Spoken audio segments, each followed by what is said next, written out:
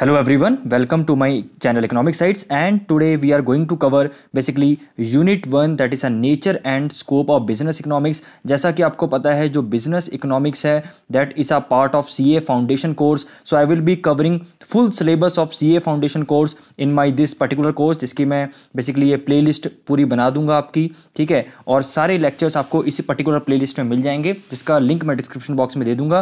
Plus अगर आपको ये कंटेंट चाहिए, जो मैं यूज़ कर रहा हूँ, आप मुझे टेली टेलीग्राम मेरे टेलीग्राम चैनल पे मुझे फॉलो कर सकते हैं, ठीक है? आपको इसका पीडीएफ आपको मिल जाएगा।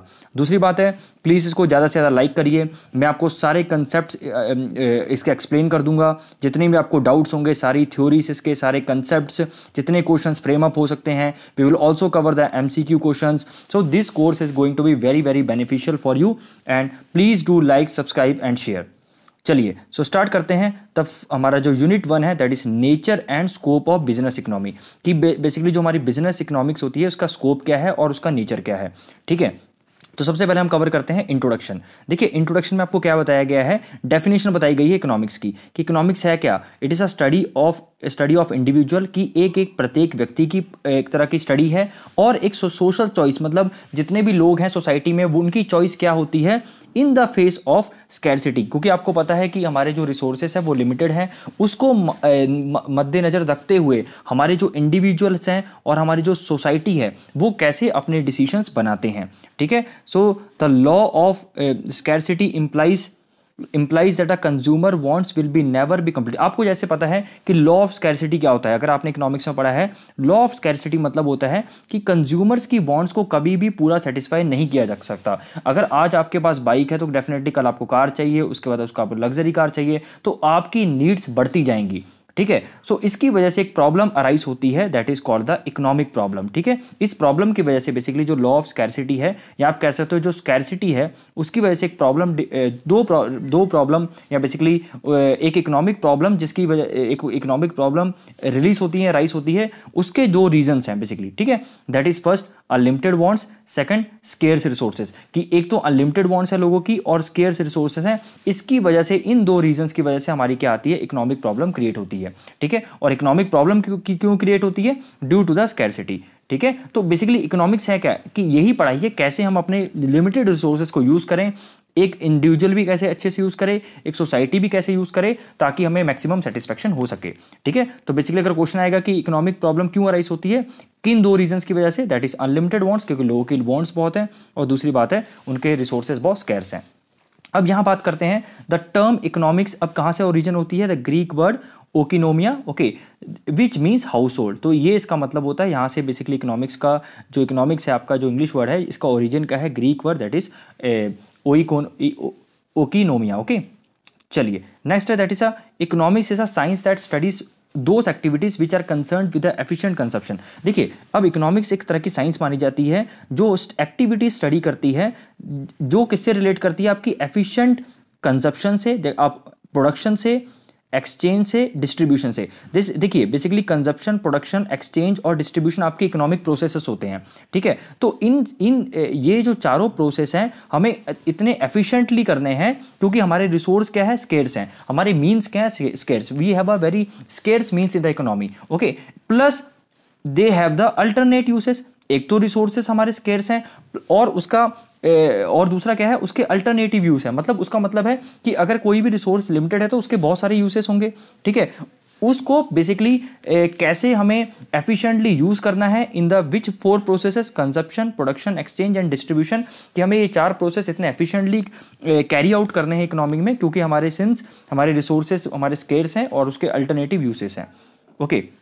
Next that is the purpose of the economics is to achieve अब क्या पर्पस है यहाँ पे इकोनॉमिक्स का? ये क्वेश्चन आ सकता है। तो आप बोलोगे it is to achieve the maximum satisfaction of wants and increasing the welfare as as well as the economic growth देखिए, सबसे पहले इसका क्या मानना है या इकोनॉमिक का पर्पस क्या है? कि हमें मैक्सिमम सेटिस्फेक्शन चाहिए जो आम लोगों की जरूरतें हैं। एक इंडिविजुअल की जरूरतें हैं, उसको भी अच्छे से हमें पूरा करना है। देखिए, पूरा तो नहीं कर पाते, लेकिन एटलीस्ट आप उसको सेटिस्फाई कर सकते हो।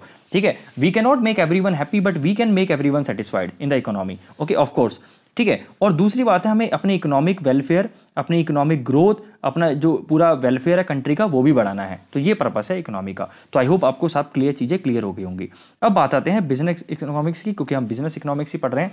तो यहाँ पे आपका मीनिंग क्या है? बिज़नेस वो तो इकोनॉमिक्स का मतलब था। अब बिज़नेस इकोनॉमिक्स क्या है? देखिए बिज़नेस में सिंस इकोनॉमिक्स में वर्ड ही जुड़ा है बिज़नेस तो डेफिनेटली दिस दिस कोर्स और दिस बेसिकली सब्जेक्ट मैटर जो भी बिज़नेस इकोनॉमिक्स का होगा, वो कहीं ना कहीं आपके बिज़नेस से रिलेट करा होगा मैनेजमेंट से रिलेट करेगा, ठीक है? तो पढ़ लेते हैं। So business economy meets this needs of the management by providing a large corpus of theory and techniques तो बेसिकली इसमें बहुत सारी थ्योरीज हैं टेक्निक्स हैं, ठीक है? इसे मैनेजरियल इकोनॉमिक्स भी बोला जाता है। क्वेश्चन आ सकता है कि बिज़नेस इकोनॉमिक्स का दूसरा नाम क्या है? तो आप बोलेंगे मैनेजरियल इकोनॉमिक्स और बिज़नेस इकोनॉमिक्स आपकी क्या है?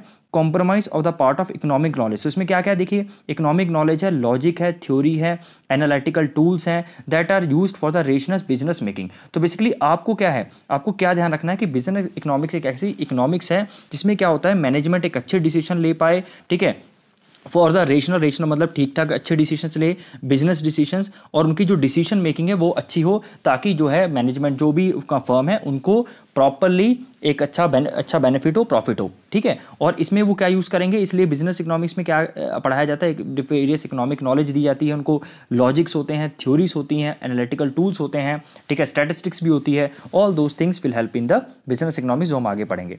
तो अब ये इसका मतलब था, इसकी डेफिनेशन की बात कर लेते हैं। तो बेसिकली डेफिनेशन क्या है? बिज़नेस इकोनॉमिक्स में भी defined as use of economic analysis हम, जो इकोनॉमिक एनालिसिस है, कि कितना बेसिकली कंजप्शन होगा प्रोडक्शन होगा डिस्ट्रीब्यूशन कैसे होगा, ये सब इकोनॉमिक एनालिसिस होता है, उसके जो बिज़नेस डिसीशंस हैं, वो हमें बेस्ट यूज़ करने हैं, ठीक है? अच्छे से हमने अपने डिसीशन ऐसे डिसीशंस लेने हैं ताकि जो ऑर्गेनाइजेशन के स्कैर्स रिसोर्सेस हैं। देखिए रिसोर्सेस कैस एक देश में भी हो सकते हैं, ऐसी हर एक फर्म में भी उनके रिसोर्सेज कैर्स होते हैं। ठीक है? तो अब जो जोएल डीन है तो यहाँ से आपको ध्यान रखिएगा, ये आपको पढ़ लीजिएगा, इसकी डेफिनेशन हो गई। अब जोएल डीन क्या डिफाइन करते हैं? वो कहते हैं कि जो बिज़नेस इकोनॉमिक्स है in terms of economic analysis कि एक अच्छी इकोनॉमिक एनालिसिस है in the formation of business policies कि ऐसे बिज़नेस को पॉलिसीज़ को फ्रेम किया जाना चाहिए। Business economics is essentially a component of applied economics तो बेसिकली जो बिज़नेस इकोनॉमिक्स है, वो किसका कॉम्पोनेंट है? अप्लाइड इकोनॉमिक्स देखिए अप्लाइड इकोनॉमिक्स क्या होती है? कि बेसिकली ये प्रैक्टिकल इकोनॉमिक्स होती है कि जब हम अप्लाई करते हैं कोई चीज़ इकोनॉमी को बेसिकली प्रैक्टिकली अप्लाई करते हैं that is a applied economics तो ऑब्वियसली इसमें क्या क्या चीज़ें आएँगी आपकी जो क्वांटिटेटिव टेक्निक्स क्वांटिटेटिव मतलब जिसको मेजर किया जा सके, तभी तो वो क्वांटिटी शो करेगा, ठीक है? अब लीनियर प्रोग्रामिंग आपने ट्वेल्थ क्लास में मैथ्स में पढ़ा होगा it is also part regression या आपने स्टेटिस्टिक्स में पढ़ा है कैपिटल बजटिंग के हमारा जो पैसा है, वो कैसे लगाना है, कहाँ लगाना है ब्रेक इवन एनालिसिस ये माइक्रो इकोनॉमिक्स का पार्ट है, जहाँ पर आपका, आपको पता है, आपका टीसी आपके टीआर के बराबर होता है, वो सब ब्रेक इवन और कॉस्ट एनालिसिस हम पढ़ेंगे, हमारा जितना भी फिक्स्ड कॉस्ट वेरिएबल कॉस्ट वो सारी थ्योरी हमारे किसके अंडर आ जाती है बिज़नेस इकोनॉमिक्स में आ जाती है। तो पूरे इकोनॉमिक्स में से बेसिकली हम जो प्रैक्टिकल चीज़ें हैं, अगर हम वो बाहर निकाल के रख दें तो वो हमारी क्या हो जाती है बिज़नेस इकोनॉमिक्स हो जाती है। अब बात करते हैं टाइप्स ऑफ़ इकोनॉमिक्स की। देखिए जर्नली दो टाइप्स ऑफ़ इकोनॉमिक्स होती हैं, एक होती है माइक्रो इकोनॉमिक्स एक होती है मैक्रो इकोनॉमिक्स तो माइक्रो इकोनॉमिक्स बेसिकली क्या होती है? देखो वर्ड से पता लग रहा है माइक्रो मतलब इंडिविजुअल जब आप क्या करते हो एक इंडिविजुअल पर्टिकुलर फर्म को पढ़ते हो एक पर्टिकुलर हाउस होल्ड को पढ़ते हो या आप कह सकते हो एक इंडिविजुअल फर्म को पढ़ते हो एक इंडिविजुअल हाउस होल्ड को पढ़ते हो ठीक है एक इंडिविजुअल प्राइस को पढ़ते हो एक ही कॉमोडिटी के प्राइस को जब स्टडी करते हो ए, एक ही पर्टिकुलर एक ही बंदे की वेजेस पे ध्यान देते हो इनकम पे ध्यान देते हो किसी पर्टिकुलर इंसान की एक ही पर्टिकुलर की इंडस्ट्री की बात करते हैं एक ही पर्टिकुलर कॉमोडिटी की बात करते हैं तो वो हमारी क्या होती है माइक्रो इकोनॉमिक्स होती है ठीक है? I hope I am very very clear अब देखिए अब इसमें क्या इसमें क्या माइक्रो इकोनॉमिक्स क्या डील करती है? Deals with the problem of allocation of resources तो यहाँ पे बहुत इंपॉर्टेंट क्वेश्चन है कि आपकी माइक्रो इकोनॉमिक एनालिसिस किससे डील करती है? आपकी problem of allocation of resources तो एलोकेशन ऑफ़ रिसोर्सेज की कौन सी स्टडी है? कौन सी इकोनॉमी से स्टडी करती है? तो आपको ध्यान रखना है that is a micro economics तो इसमें चार बेसिकली थ्योरीज आती हैं that is theory of product pricing जिसे प्राइस थ्योरी भी बोला जाता है, जिसमें लॉ ऑफ़ डिमांड वगैरह वो सब आपके डिमांड सप्लाई आ जाता है। नेक्स्ट है थ्योरी ऑफ़ कंज्यूमर बिहेवियर कि हम थ्योरी जो कंज्यूमर का बिहेवियर कैसा है तो theory of consumer behaviour basically आपकी दो थ्योरीज है। एक है मार्जिनल यूटिलिटी एनालिसिस और एक है ऑर्डिनल यूटिलिटी एनालिसिस जिसे हम आगे पढ़ेंगे डीपली ठीक है? देन है थ्योरी ऑफ़ फैक्टर प्राइसिंग कि कैसे हमारे जो जर्नल प्राइस है हमारे जो फैक्टर जो फैक्टर का बेसिकली जो क्या क्या फैक्टर्स है जो प्राइस को डिटरमाइन करते हैं। Then study of a firm एक पर्टिकुलर एक इंडस्ट्री की स्टडी पढ़ते हैं जिसमें हम प्रोड्यूसर इक्लिबीरियम ठीक है, वो सब चीज़ें वो स्टडी करते हैं। क्लियर हो गया? ठीक है आपको डोंट वरी जिससे जो फ़र्स्ट टाइम जो पढ़ रहे हैं उन्हें आगे अच्छे से समझ में आ जाएगा, ये क्या होता है, ये सारी थ्योरीज हम आगे कवर करने वाले हैं। फ़िलहाल के लिए आप बहुत जो है शैलो तरीके से मैं आपको बता रहा हूँ। ठीक है नटशल में। ओके नेक्स्ट है मैक्रो इकोनॉमिक्स देखिए वर्ड ही मैक्रो होता है। जब आप जितने भी इकोनॉमिक वेरिएबल्स हैं जितने भी इकोनॉमिक प्रॉब्लम्स हैं ठीक है आप क्या करते हो? पूरे देश के लेवल पे उसे ए, क्या करते हो? स्टडी करते हो। When you study the economic problems economic aggregates on the level of the country as a whole तो इसमें क्या चीज़ें आपको देखने को मिलेगी? इसमें आप ओवरऑल एवरेज पढ़ोगे एग्रीगेट्स मतलब पूरे देश के लेवल पे पढ़ना है आपको। अब पूरे देश के लेवल पे क्या है? देखिए सिंपल सी बात है। Theory of national income national income किसी एक की इनकम नहीं होती, पूरे देश की इनकम है। एम्प्लॉयमेंट किसी एक की एम्प्लॉयमेंट नहीं, पूरे देश की एम्प्लॉयमेंट है। मनी जितना भी आर के फ़ंक्शन है, वो सब आर किसमें आ जाता है? मैक्रो इकोनॉमिक्स में आ जाता है। क्योंकि आर किसी एक बंदे के लिए थोड़ी डिसीज़न लेता है। वो तो पूरे कंट्री के लिए डिसीज़न लेता है। दूसरी बात है theory of the general price level general price level का मतलब होता है कि पूरे देश में एक पर्टिकुलर प्राइस कैसे सेट होता है? Then theory of economic growth and development कि जो इकोनॉमिक ग्रोथ एंड डेवलपमेंट है, कि वो वो उसकी जो पूरी थ्योरी है कि इकोनॉमिक ग्रोथ कैसे होती है डेवलपमेंट कैसे होती है तो इकोनॉमिक ग्रोथ और डेवलपमेंट तो पूरे कंट्री के लेवल पे होगी, है ना? तो इसलिए ये मैक्रो में जाएगा। तो आपको ध्यान रखना है कि जो पूरे कंट्री के लेवल पे हम चीज़ें पढ़ेंगे, वो किसमें मैक्रो में जाएगी और जो जो हम क्या करेंगे, उस पर लेवल पर पढ़ेंगे, छोटे लेवल पर पढ़ेंगे, वो उसमें माइक्रो में जाएँगे, ठीक है? अगर इंडिविजुअल लेवल पढ़ेंगे तो माइक्रो में जाएँगे कंट्री के लेवल पर मैक्रो में जाएँगे। और इंटरनेशनल ट्रेड की हमारी जितनी थ्योरीज हैं, वो सब भी इसमें आ जाएँगी, क्योंकि इंटरनेशनल ट्रेड पूरे देश से कंसर्न करता है। अब ये डिफरेंस है, ये आपको पढ़ सकते हैं। माइक्रो इकोनॉमिक्स क्या है? मैंने ऑलरेडी बताया इंडिविजुअल है। ये पूरे ऐसा होल इकोनॉमी ऐसा होल पूरे कंट्री के लेवल पे पढ़ते हैं। ठीक है? ये इंडिविजुअल इनकम इंडिविजुअल प्राइसेस और वेरस ये क्या है आपका? National income general price level national output ये सब चीज़ें पढ़ता है। अब इसमें टूल्स क्या यूज़ करते हैं? बेसिकली हम डिमांड एंड सप्लाई को यूज़ करते हैं, और इसमें एग्रीगेट एग्रीगेट मतलब होता है पूरे देश की। सिर्फ़ डिमांड और सिर्फ़ सप्लाई की बात करेंगे तो ये क्या होगा आपका? किसी एक बंदे की। लेकिन जब यहाँ एग्रीगेट डिमांड और एग्रीगेट सप्लाई आ जाएगा तो ये पूरे देश की और पूरे देश की डिमांड पूरे देश की सप्लाई की बात करेंगे। बाकी सेंटर प्रॉब्लम्स इसकी क्या है? सेंटर प्रॉब्लम्स है कैसे प्राइस डिटर्मिनेशन होगा ठीक है? एंड हाँ, एक पर्टिकुलर कॉमोडिटीज़ का और उसके फैक्टर्स ऑफ़ प्रोडक्शन यूज़ करके। लेकिन यहाँ पे हम बात करें यहाँ पे क्या है? जर्नल लेवल देखिए जर्नल लेवल ऑफ़ इनकम मतलब यहाँ पे जर्नल लेवल ऑफ़ इनकम मतलब कैसे देश में एक जर्नल लेवल इनकम यहाँ पे इनकम का मतलब जीडीपी समझ लीजिए कि कैसे जीडीपी सेट होगी देश की कैसे लोगों को एम्प्लॉयमेंट मिलेगी और कैसे एक जर्नल प्राइस सेट होगा ठीक है? ओके नेक्स्ट है प्राइसेस आर डेटरमाइंड इसे रिलेटिव प्राइसेस बोला जाता है और इसमें क्या होता है एब्सोलूट प्राइसेस बोला जाता है। इसमें जो प्राइस सेट होता है, उसे एब्सोलूट प्राइसेस बोला जाता है और ये हमारे रिलेटिव प्राइस होते हैं। It is a partial obviously बात है छोटी चीज़ है, इसलिए पार्शियल बोलते हैं इसको, और ये पूरी कंट्री ऐसा होल है, इसलिए क्या बोलते हैं जर्नल बोलते हैं। ओके नेक्स्ट है स्कोप इसका क्या है, आपका नैरो स्कोप है, इसका क्या है वाइडर स्कोप है। ठीक है? एग्ज़ाम्पल जैसे टेलको एक पर्टिकुलर कंपनी को पढ़ रहे हैं, लेकिन पर कैपिटा इनकम क्या है? प्रति व्यक्ति आय जिसे बोला जाता है इट इज़ अ कंट्री ऐसा होल पूरे देश की निकलती है तो यहाँ पे ये पट, एक माइक्रो कंसेप्ट हो गया, एक मैक्रो कंसेप्ट हो गया। ठीक है? नेक्स्ट है finding the cause of failure मतलब हमने क्या पढ़ा कि एक एक्स का जो फेलियर है, उसकी कंपनी उसके मतलब उसकी कंपनी का और उसका फेलियर के रीज़न पढ़ रहे हैं। लेकिन यहाँ हम क्या बात कर रहे हैं? पूरे कंट्री की इकोनॉमी की ग्रोथ की कॉरपोरेट इनकम टैक्स तो ये चीज़ें हैं, पूरे देश के लेवल पे होती हैं, ये एक इंडिविजुअल लेवल पे होती हैं। तो आई होप आपको यहाँ पे, यहाँ तक आपकी चीज़ें क्लियर हो गई होंगी। ठीक है, अब यहाँ बात करते हैं नेचर इसका नेचर क्या है? ठीक है नेचर ऑफ़ बिज़नेस इकोनॉमिक्स क्या है? Business economics is a science तो ये बोला जाता है कि बिज़नेस इकोनॉमिक्स एक साइंस है। क्यों? क्योंकि हम, एक एक सिस्टमेटिक स्टडी है इसकी। नॉलेज की, ठीक है, जो क्या पढ़ती है कॉस्ट पढ़ती है और उसके इफ़ेक्ट भी पढ़ती है। दूसरी बात है business economics integrates the tools of decision of science making sorry tools of decision sciences such as mathematics हम इसमें मैथमेटिक्स को यूज़ करते हैं, जैसे मैंने बोला था linear programming statistics mean median mode सब कुछ हो जाता है। और इकोनॉमिक इकोनोमेट्रिक्स एक तरह का एक ब्रांच ऑफ़ इकोनॉमिक्स होती है, जो स्टडी करती है मैथमेटिकली इकोनॉमिक्स को, ठीक है विद द इकोनॉमिक थ्योरी तो ये चीज़ें हैं बेसिकली आप कह सकते हो एक तरह का क्वांटिटेटिव स्टडी होती है, ठीक है? इसलिए इसको बिज़नेस इकोनॉमिक्स को क्या बोला जाता है? क्वांटिटेटिव स्टडी बोला जाता है। और दूसरी बात है, ये माइक्रो इकोनॉमिक्स पे बेस होती है मतलब एक इंडिविजुअल वेरिएबल्स हैं हमारे इंडिविजुअल वेरिएबल्स हैं, जितने भी इंडिविजुअल इस्टेब्लिशमेंट हैं, उसको उसके डिसीज़न मेकिंग बेसिकली कैसे होते हैं, ठीक है? एक एक कंपनी के बेसिकली डिसीज़न कैसे होने चाहिए, ठीक है? ये सब चीज़ें भी क्या है बेसिकली आपकी बिज़नेस इकोनॉमिक इसलिए माइक्रो इकोनॉमिक्स पर रिलाई करती है, क्योंकि आपके क्या है कि एक इंडिविजुअल यूनिट को जब अच्छे से पढ़ोगे आप, उनके अगर बिज़नेस डिसीज़न सब अच्छे हो जाएँगे तो डेफिनेटली पूरे कंट्री के बिज़नेस डिसीज़न पे इफ़ेक्ट पड़ेगा, ठीक है? वो भी अच्छे होंगे। थर्ड है that is incorporate the element of the macro analysis कि मतलब आपका जो जो आपका इन, आपका जो मैक्रो के एलिमेंट्स है, उसको भी इनकॉर्पोरेट करता है। अब मैक्रो के एनालिसिस कौन से हो गए?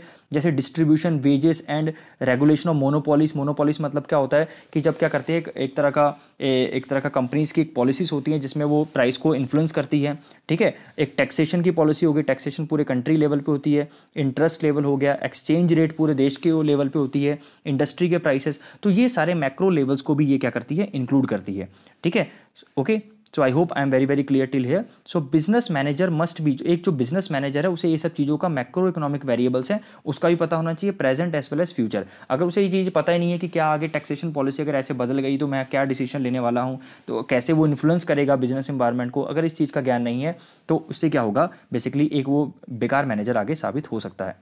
नेक्स्ट है फोर्थ क्वेश्चन फोर्थ पॉइंट है that is business economics is art एक आर्ट भी है। आर्ट क्या होता है? पर्सन टू पर्सन डिपेंड करता है। अब एक मैनेजर है ठीक है ए है, एक मैनेजर आपका है बी है। तो डिपेंड करता है ऑब्वियसली वो अपनी अपनी स्किल्स कैसे यूज़ करता है बिज़नेस डिसीजंस लेने में, ताकि क्या हो, एक अच्छा एक तरह का जो अटेनमेंट हो पाए, जो ऑब्जेक्टिव्स वो सेट करते हैं। तो ये एक आर्ट भी है, ठीक है? Then use of a theory of a markets and private enterprises so business economics largely uses the theory of markets and public private enterprises.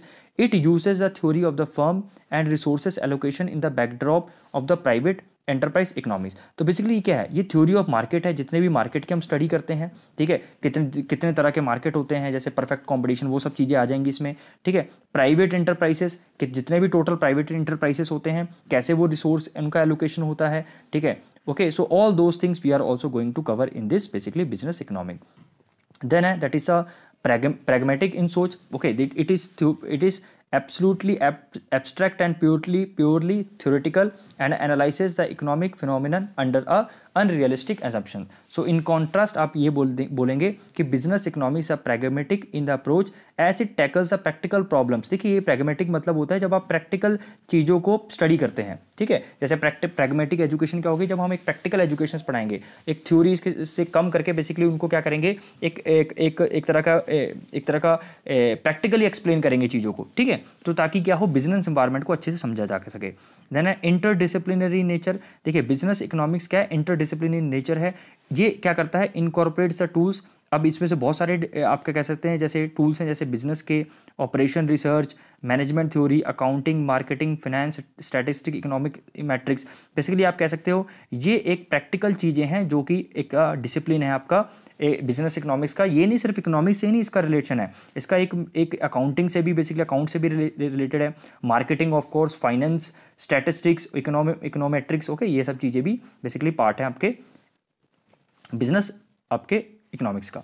ठीक है then is normative in nature normative का nature मतलब दो, देखिए, दो तरह की economic theory होती है। एक होती है, जहाँ पे ये मतलब समझिएगा, दो तरह की इकोनॉमिक्स तो माइक्रो और मैक्रो होती है। यहाँ पे बात की गई है इकोनॉमिक थ्योरी की which is of two type positive and normative तो पॉजिटिव क्या होता है? बेसिकली पॉजिटिव हम सिर्फ़ क्या पढ़ते हैं? एक तरह की स्टेटमेंट बेस्ड होती है। बस आपको एक एक चीज़, एक एक थ्योरी आप कह सकते हो। सम वॉट थ्योरेटिकल होता है ये। कि आपको एक चीज़ बता दी जाती है कि ये हो रहा है, ये हो रहा है, ये हो रहा है, ये हो रहा है। ठीक है? वेरस हम बात करें नॉर्मेटिव नॉर्मेटिव में क्या होता है, उसके सोल्यूशंस की भी बात करते हैं हम, कि कैसे उसको सॉल्व किया जाए। Okay basically it is a आप यहाँ भी देख सकते हैं as against this normative science involves a value judgements कि हर किसी की जो जजमेंट है वो कैसी है। It is a prescriptive in nature and suggest है ना वॉट शुड बी ये एक सजेस्ट करता है। बेसिकली जो नॉर्मेटिव इकोनॉमिक्स है, ये सजेस्ट करता है कोई भी प्रॉब्लम्स को, कि कैसे बेसिकली उसको टैकल किया जाना चाहिए। तो आप कह सकते हैं पॉजिटिव सम वॉट थ्योरेटिकल है, जो नॉर्मेटिव है it gives the more focus on what should be done okay so all these things also covers under तो दोनों ही चीज़ें आपकी जो पॉजिटिव है नॉर्मेटिव है ये दोनों ही चीज़ें आपकी बिज़नेस इकोनॉमिक्स में इंक्लूड करती हैं। ठीक है? ओके okay, तो अगर आपको क्वेश्चन आ, आ सकता है कि बिजन की जो इकोनॉमिक थ्योरी कितने तरह की होती है आपकी एक पॉजिटिव होती है एक नॉर्मेटिव होती है मैंने आपको बता दिया। ठीक है? इसमें बहुत सारे जो डिसिप्लिन है वो यूज़ किए जाते हैं मैथमेटिक्स के फाइनेंस के मार्केटिंग के अकाउंटिंग के ऑल दोज थिंग्स ये एक प्रेगमेटिक सोच है मतलब एक तरह का प्रैक्टिकल अप्रोच रखता है। फाइन उसके बाद हमने क्या पढ़ा कि ये इसके एक थ्योरी ऑफ़ मार्केट्स मार्केट्स को स्टडी करता है प्राइवेट एंटरप्राइजेस को एक बिज़नेस एक आर्ट है। तो ऑलरेडी हमने सब कुछ कवर कर लिया है। इस वीडियो में हम इतना ही पढ़ने वाले हैं। सो so, प्लीज़ आपको कमेंट करके बताइएगा। अगर आपको ये लेक्चर अच्छे लग रहे हैं तो मैं डेफिनेटली कंटिन्यू करूँगा। And definitely I will cover the full course I am going to cover the full course uh, uh, uh, this particular CA foundation course please join my Telegram channel मैं इसके जो link है इस videos के वहाँ पर share करता रहूँगा ताकि आपको चीज़ें समझ में आती रहें। So thank you so much God bless you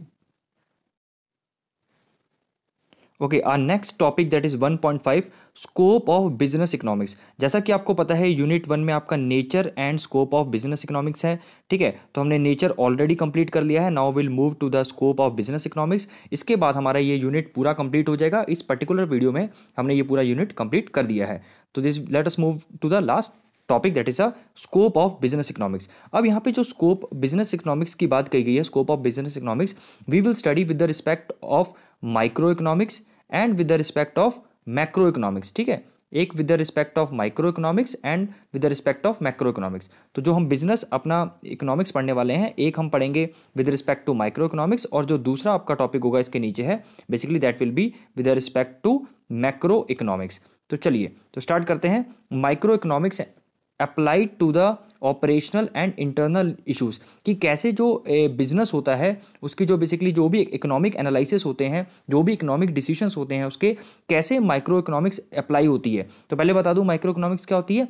micro economic study होती है इंडिविजुअल बिहेवियर के। छोटे छोटे जो वेरिएबल्स होते हैं इंडिविजुअल प्राइस हो गया ठीक है इंडिविजुअल डिमांड हो गया इंडिविजुअल मार्केट हो गया इंडिविजुअल फर्म हो गया तो जब हम किसी भी इकोनॉमिक वेरिएबल को इंडिविजुअली पढ़ते हैं तो वो हमारी माइक्रो माइक्रो इकोनॉमिक्स होती है। तो ये कैसे बिज़नेस इकोनॉमिक्स में अप्लाई की जाती है वी विल स्टडी दैट तो सबसे पहले हमारी होती है that is a demand analysis and forecasting ये हमें क्या करते हेल्प करती है कि कैसे हमारी डिमांड आने वाली है मार्केट में, और हमें उसे उसको फोरकास्ट करने में हेल्प करती है। तो डिमांड एनालिसिस आप कैसे पढ़ सकते हैं? हमें उसके लिए पढ़ना पड़ेगा behaviour of the consumer in the market तो अगर आप डिमांड एनालिसिस को आपको समझना है और फोरकास्ट करना है तो सबसे पहले आपको क्या करना पड़ेगा?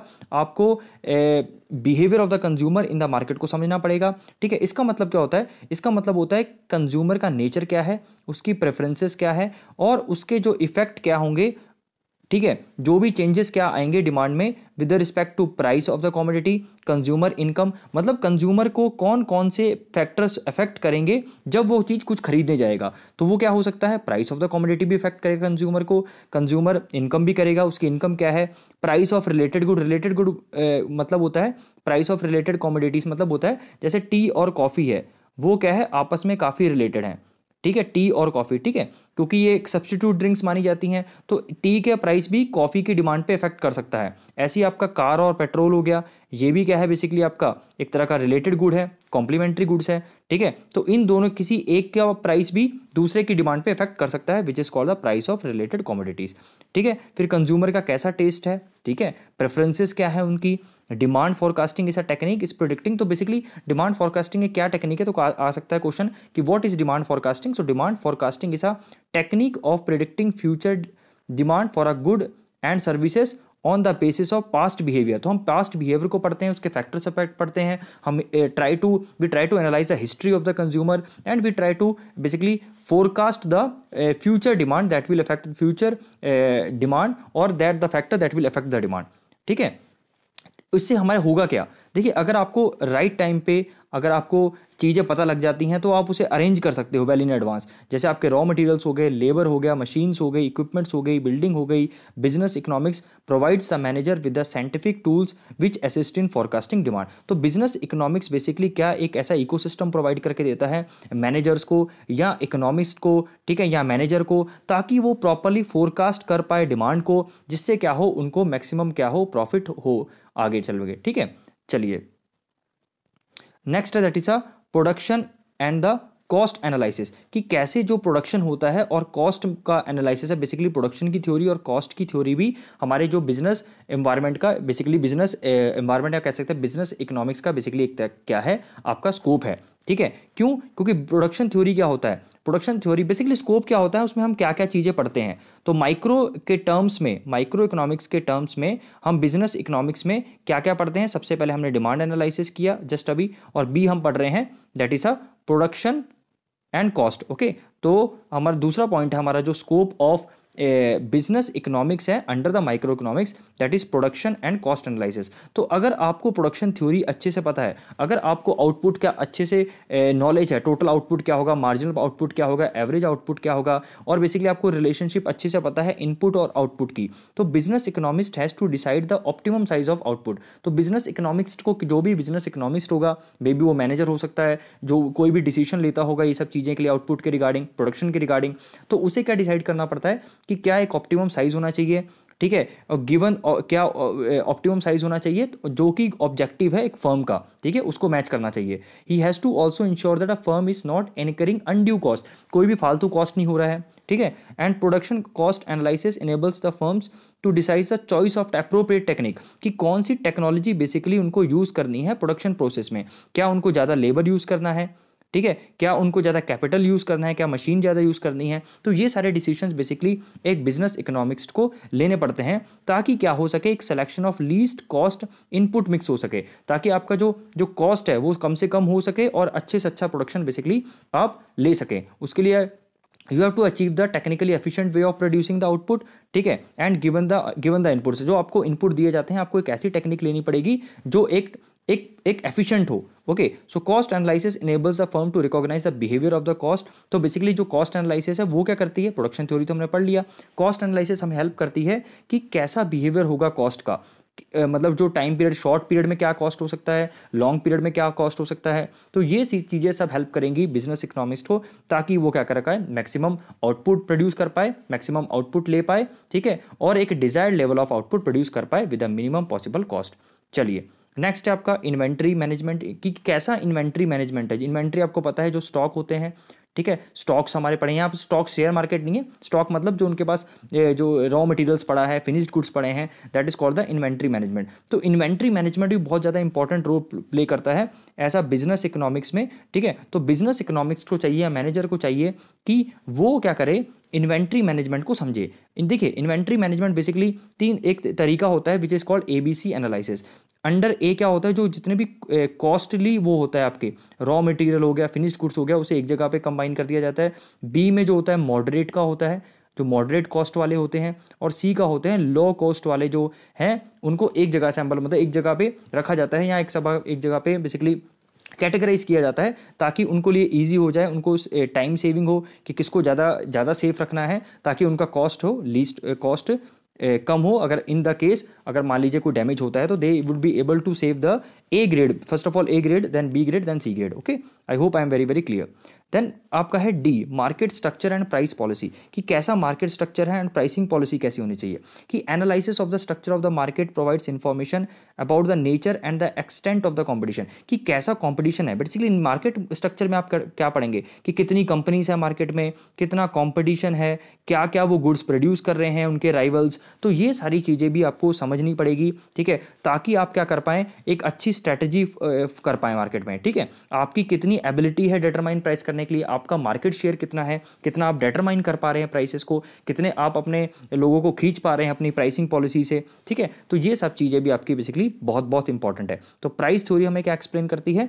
कि how the prices are determined under the different market condition कि अलग अलग जब मार्केट कंडीशन होंगी तो हम, हमें हमारी जो प्राइसिंग पॉलिसी कैसी रहने वाली है? क्या हम प्राइस कम करने वाले हैं? क्या हम प्राइस ज़्यादा करने वाले हैं? ठीक है? कंपेरेटिवली अदर कॉम्पिटिटर से या related to your own okay own decision या फर्म के अपने डिसीज़न हो सकते हैं, या फर्म किसी दूसरे पे भी डिपेंड कर सकता है।